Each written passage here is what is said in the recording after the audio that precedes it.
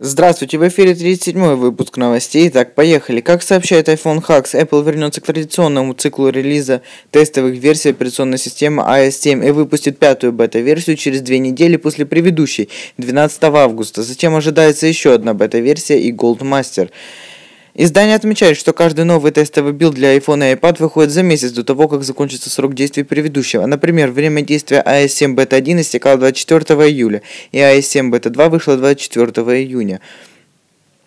Срок годности АС-7-бета-2 заканчивался 8 августа, и АС-7-бета-3 была выпущена также на месяц раньше, 8 июля. Что характерно, время жизни АС-7-бета-3 ограничивается 29 августа, и 4 бета действительно вышла 29 июля, то есть в соответствии с этой схемой. Предполагалось, что Apple отложила релиз 4 бета на неделю из-за хакерской атаки на сайт разработчиков.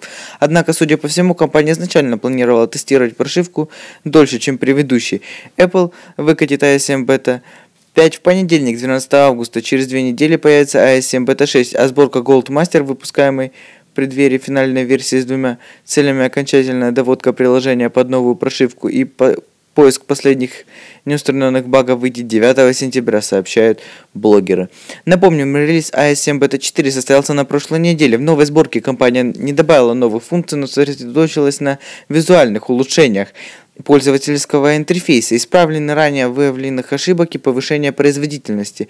Ранее многие функции iOS 7 получили массу критики из-за их тормозов на действующем оборудовании. Спасибо за просмотр, подписывайтесь на канал, подписывайтесь на группу ВКонтакте, ставьте лайки, спасибо, пока.